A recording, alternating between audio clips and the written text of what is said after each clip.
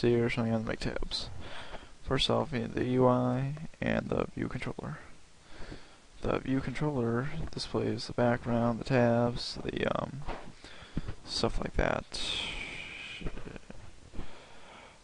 The main shows the viewer control, which, which this starts this. It's the tab bar, which is this right here. It's play news about, which is right here. Play news about.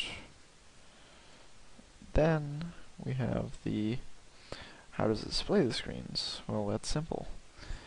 If the ID is equal to equal 1, then load screen is equal to screen 1, which is the screen right here, which changes, and if you want to go to screen 2, it changes the number to 2, and then goes to screen 2, and then it goes to three, screen 3.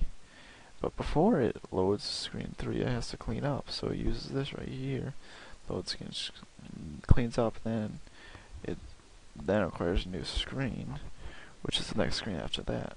And these are the three screens which are packaged. New group, background, which is the new rect, and then it shows the background screen 1, screen 2, and screen 3. Thanks, and have a nice day.